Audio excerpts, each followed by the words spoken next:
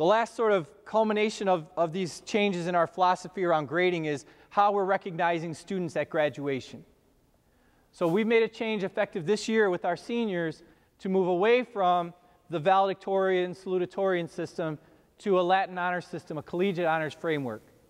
And so we're recognizing students as summa cum laude, magna cum laude, or cum laude.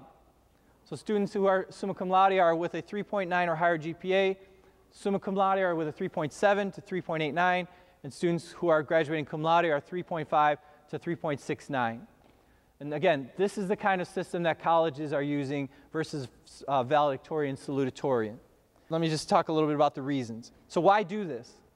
For one, it's about my achievement against the standards, not against my peers. So being valedictorian, and by the way, class rank will still appear on the transcript.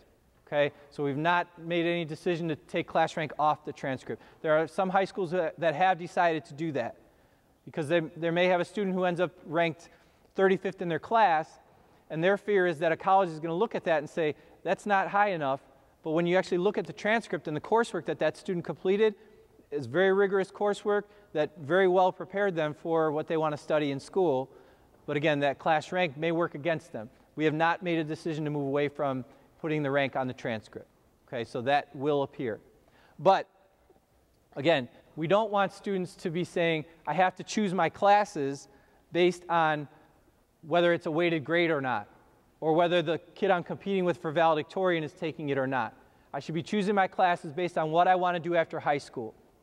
So if my career pathway is one that doesn't include all weighted grades, okay, I don't, we don't want students to say, well, then I'm not going to study these things, even though they're going to help me to do what I want to do after high school because I have to have all honors, all AP classes. We want students to take those classes if they're going to help them in the direction they want to go. Okay? But not because they want to be ranked such and such.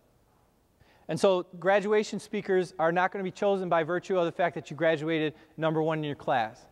They're going to be chosen on the merits of their speeches. So the schools have developed a system for students to submit a graduation speech to be selected by a committee to be given at the graduation ceremony. So the valedictorian certainly has every opportunity to speak at graduation, but it will be on the merits of what they have to say, not just on the fact that they graduated number one in the class. So it gives students an opportunity to participate in that element of graduation who may not be the very number one in their class. And the difference between number one and number two a lot of times is, you know, this much. The other problem we've had with valedictorian, lots of schools have had, is valedictorian and salutatorian most often are named based on their um, 11th semester, after the first semester of their senior year. There are times in particular school years where that student who was valedictorian after the 11th semester might slip. And so by the end of the second semester, just a couple days before graduation, we find out that that student is no longer ranked number one in the class. But they've already been named valedictorian at senior awards night, or they've already been named in the program. They've already been informed they're going to give the graduation speech. And so it's too late to do anything about it now. So those are just you know, other problems. They're not the reason to move away from this, but they are problems that are part of using a valedictory system. One of the things we want you to understand is there are a lot of school districts that are moving in this direction. So this is a sampling of a lot of area school districts that have moved away from valedictorian, salutatorian toward a collegiate honor system.